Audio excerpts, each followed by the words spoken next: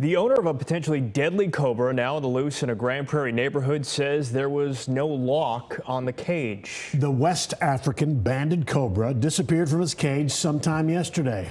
And there it is in happier times, I guess. Grand Prairie Animal Services and wildlife experts have been searching for the six foot snake ever since, and police and fire officials warned hospitals in the area that in the event someone gets bitten by this, quote, extremely dangerous snake, how to take action. Fox 4's Macy Jenkins is live with the story tonight. Macy. Well, Blake and Steve, you can probably imagine this has been a very tense day for the people in this neighborhood after learning that a very large venomous snake is on the loose in their neighborhood. Today, we talked to several people who were filling in small holes or cracks around their homes to try to keep this snake from getting in. The snake owner told Fox 4 it happened because of a cage malfunction. I don't know if it's in my house or anything. Like, that's what I've been scared of. Oh my God, it's very big. I had no idea you can have poisonous snakes in your house. People in this Grand Prairie neighborhood are on edge tonight after learning their neighbor's venomous West African banded cobra was missing from its cage. Oh, you don't want to know what I want to tell them right now. Grand Prairie police say they learned about the escaped snake on Tuesday after getting a call from its owner. I really just love reptiles as a whole, no matter if it's venomous, non-venomous. The owner, who did not give Fox 4 his full name, says he was constructing an in-home enclosure for the female cobra when he had a mishap.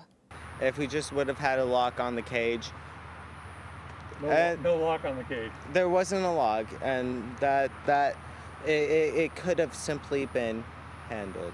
Grand Prairie Animal Services, the owner, and a professional snake handler searched outside of the home Tuesday night with no luck. Grand Prairie police warned people not to approach the snake, calling it extremely dangerous. Its owner says it likely won't attack if it isn't provoked. The thing is, is that these are beautiful creatures and they're actually very sensitive. Randall Kennedy with Dallas Fort Worth Wildlife says the snake is likely just looking for a shady place to hide out don't get overhyped. It's not going to chase you down, anything like that. If you step on it, it's going to bite you.